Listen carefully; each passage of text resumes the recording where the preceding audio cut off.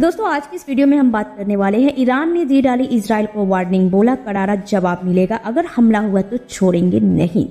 तो वीडियो को लास्ट तक ज़रूर देखिएगा, जो लोग हमारे चैनल पे नए हैं तो प्लीज़ हमारे चैनल को ज़रूर सब्सक्राइब कीजिएगा। तो चलिए दोस्तों, शुरू करते हैं इस वीडियो को। ईरान ने इसराइल को सख्त चेतावनी देते हुए कहा है कि अगर हमला हुआ तो हम भी नहीं छोड़ेंगे। ईरान के विदेश मंत्री अब्बास अगारची ने कहा है कि ईरान के खिलाफ किसी भी इसराइली हमले का मतलब खतरे की रेखा पार करना होगा और इसका माकूल जवाब दिया जाएगा। अगारची ने तुर्की प्रशासन एन एनटीवी को बताया है कि ईरान पर किसी भी हमले का मतलब हमारे लिए लाल रेखा को पार करना है। हम ऐसे हमलों का जवाब ज़रूर देंगे।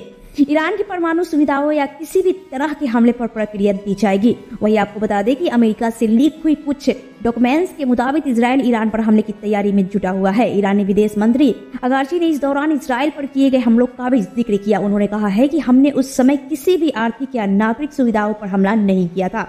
हमने केवल सैन्य सुविधाओं को निशाना बनाया था। अब हमने इसराइल में अपने सभी लक्ष्यों की पहचान कर ली है।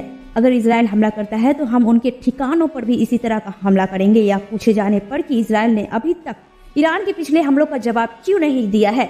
मंत्री ने पूरी दुनिया का द्वारा इसराइल पर डाले जा रहे भारी राजनीतिक दबाव का हमला दिया है।